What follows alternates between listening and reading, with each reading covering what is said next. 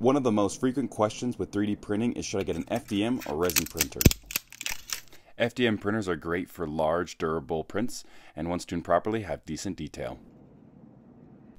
Resin prints can take a little bit longer to process with the washing and curing post print, and can be a little bit messier, but the detail you have is unmatched. So with everything, it depends. But that's what's great, you get to pick what's best for you.